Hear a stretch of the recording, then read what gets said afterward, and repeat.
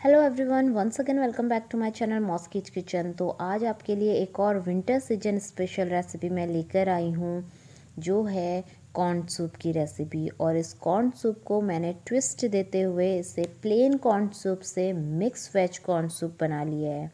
तो काफ़ी सारे लोग लोग होते हैं जिन्हें कॉर्न सूप पीना पसंद नहीं होता है just because of the taste क्योंकि इसमें सिर्फ़ कॉर्न का टेस्ट होता है जो एक सूप बनाकर जब सर्व किया जाता है तो लोगों को नहीं पसंद आता है। बट अगर उस कॉर्न सूप में अगर आपने मिक्स वेजिटेबल्स ढेर सारी अपनी मनपसंद की डाल ली तो इसका टेस्ट बहुत ज़्यादा यमी हो जाता है और हर किसी को ये बहुत पसंद आने वाला है। सो so, आप ज़रूर ट्राई करिए। इस रेसिपी को और मुझे बताना मत भूलिए कि वो कैसी बनी थी। तो चलिए वीडियो स्टार्ट करते हैं। उससे पहले लाइक शेयर कमेंट ज़रूर कर लीजिए और अगर आप फ़र्स्ट टाइम विजिटर हैं सब्सक्राइब करना बिल्कुल भी ना भूलें मेरे चैनल को for more healthy videos and bell icon ज़रूर प्रेस कर लीजिए जिससे न्यू नोटिफिकेशन आपको मिलते रहेंगे। तो यहाँ पर देखिए ढेर सारी सब्ज़ियाँ मैंने ली हैं, जिसमें कैरेट लिए हैं फाइनली चॉप साथ ही यहाँ पे फाइनली चॉप फ्रेंच बीन्स मैंने लिए हुए हैं। Red bell pepper yellow bell pepper green capsicum हर सब्ज़ी को मैंने फाइनली चॉप किया, बिल्कुल बारीक काट के। साथ ही यहाँ पे ब्रोकली ली है, बहुत हेल्दी होती है, उसे भी मैंने बारीक काट लिया है और जिंजर जो है फाइनली चॉप मैंने लिया हुआ है। और यहाँ पर इसका मेन इंग्रेडिएंट जो है, ये कॉर्न सूप है तो कॉर्न जाएगा। तो अब हमने करना किया है, ढेर सारे जो कॉर्न लिया, उसमें से ऑलमोस्ट एट्टी परसेंट मैं मिक्सर ग्राइंडर जार में डालकर ग्राइंड कर लूँगी और जो ट्वेंटी परसेंट पोर्सन है वो हम सेपरेट रख लेंगे। यहाँ पर पानी मेरा बहुत अच्छे से बॉईल हो रहा है तो अब सबसे पहले मैंने इसमें जो प्लेन नॉर्मल सेपरेट रखे थे मैंने ट्वेंटी परसेंट पोर्शन वो डाल लिया है और साथ ही अब ये ग्राइंड किया हुआ कॉर्न का मैं डाल रही हूँ और इसे हमने थोड़ा दरदरा ही पीसना है तो आप इसे पल्स मोड पे पीसिए। बिकॉज़ अगर आप पल्स मोड पे नहीं पीसेंगे तो ये बिल्कुल फाइन पेस्ट बन जाएगा, जो हमें बिल्कुल भी नहीं चाहिए। तो थोड़ा दरदरा आपने इसे पीसना और एक बार हम इसे मिक्स कर रहे हैं। और अब मैं इसमें ऐड करूँगी सॉल्ट और इसके अलावा अभी हम कुछ नहीं डालेंगे। एक बार नमक डालने के बाद हमें इसे मिक्स कर लेना है और मिक्स आने के बाद हम इसे एक बॉईल आने का वेट करेंगे। जब इसमें एक बॉईल आ जाए तो अब हम इसको एक बार और चला लेते हैं मिक्स कर, देखिए, मैं स्पैचुला से एक बार मैंने हिला लिया है, और अब इसकी लीड लगाकर मैं इसे टेन मिनट तक, मैंने फ्लेम मीडियम रख लिया और उसे टेन मिनट तक कुक होने देंगे, जिससे कि ये जो कॉर्न है, वो बहुत अच्छे से पक जाएँ। तो यहाँ पर देखिए, एक बार आपने हिला लेना है, और अब हम इसमें वो वेजिटेबल्स डालेंगे जो थोड़ा टाइम लेती हैं कुक होने में। तो मैंने यहाँ पे कैरेट डाल लिया है, ब्रोकली डाल है और साथ ही यहाँ पे मैं फ्रेंच बीन्स डाल रही हूँ। तो ये सारी सब्ज़ियाँ डाल ली हैं मैंने, जो थोड़ी सी हार्ड होती हैं और टाइम लेती हैं कुक होने में। अब एक बार इन्हें मिक्स मैंने कर लिया है और इसके बाद इसमें मैं डालूँगी ब्लैक पेपर पाउडर।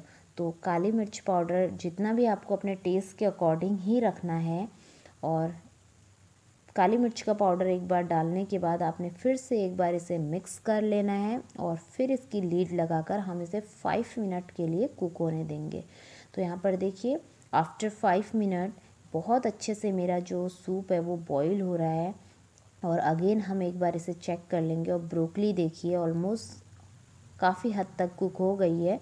तो अब इस स्टेज में हमारे जो बची हुई सब्ज़ियाँ, जो कैप्सिकम तीनों कलर के थे प्लस जिंजर था, वो सारा हमने ऐड कर लिया। और इसे एक बार मैंने फिर से अच्छे से हिलाकर मिक्स कर लिया है और इस स्टेज में हमने टेस्ट कर लेना है अपना सॉल्ट और जो हमने ब्लैक पेपर डाला था उसका टेस्ट अगर आपको कम लगता है कहीं पर तो आप उसे ऐड कर लीजिए। बट मेरा परफेक्ट है तो मैं अब इसका लीड बंद करके मैं अगेन इसे फाइव मिनट के लिए कुक होने दे रही हूँ।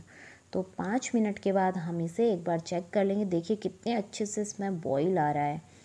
और पाँच मिनट के बाद हमने फिर इन्हें चेक कर लेना है और टोटल जो इसे कुक होने में टाइम लगेगा, वो आपको ट्वेंटी फाइव मिनट का टाइम लगने वाला है। तो मुझे जो ब्लैक पेपर का जो टेस्ट है वो थोड़ा कम लग रहा था और वो मैंने डाल लिया है और साथ ही मैंने इसमें हाफ़ स्पून के लगभग जो हमारा यू नो विनेगर होता है, वो मैंने ऐड कर लिया था और साथ ही मैंने सात से आठ दाने, सिर्फ़ सात से आठ दाने शुगर के ऐड किए जिससे कि सारी चीज़ें एक साथ बैलेंस हो जाएँ। और यहाँ पर देखिए, जो सब्ज़ियाँ हैं, वो तो अच्छे से कुक हो गई हैं बट अगर मैं आपको इसकी कंसिस्टेंसी दिखाऊँ तो बिल्कुल ही पानी ये लग रहा है, अभी बहुत पतला है तो अब हमें इसे थोड़ा सा जो है इसकी कंसिस्टेंसी ठीक करनी पड़ेगी, जितनी कि एक सूप की होनी चाहिए। तो उसके लिए मैंने यहाँ पे वन स्पून कॉर्नफ्लावर ले लिया और उसे पानी के साथ मैं अच्छे से डाइल्यूट कर रही हूँ। इस तरीके से हमें मिक्स करना है और एक बार मिक्स कर लेंगे, उसके बाद मैं इसे सूप में डाल लूँगी। और अगर कहीं मुझे कम लगता है तो मैं फिर से थोड़ा कॉर्नफ्लावर लेकर ऐड कर लूँगी। But I think it's enough और हमें कॉर्नफ्लावर डाल के ज़्यादा देर तक कुक भी नहीं करना होता है, नहीं तो इसके नीचे लगने का डर रहता है और इसे कंटिन्यूसली हमने स्टेयर करते रहना है और यहाँ पर देखिए कितना अच्छा इसका कलर आया हुआ है। साथ ही ये बहुत ही हेल्दी है प्रोटीन रिच है तो एक कॉर्न सूप को हम इतने अच्छे से चेंज करके मिक्स वेज कॉर्न सूप बना सकते हो। साथ ही मैंने यहाँ पे ग्रीन ऑनियन और प्लस ग्रीन कोरिएंडर जो है वो ऐड कर लिया और एक बार इसे स्टेयर कर लेंगे। और हेयर बिल्कुल परफेक्ट कंसिस्टेंसी के साथ हमारा ये mix veg corn soup ready है, जो हर किसी को बहुत ज़्यादा पसंद आने वाला है। सो इसे मैं सर्व कर रही हूँ. एंड uh, इस विंटर सीज़न में ज़रूर ट्राई करिए इस कॉर्न सूप को मिक्स वेज कॉर्न सूप को.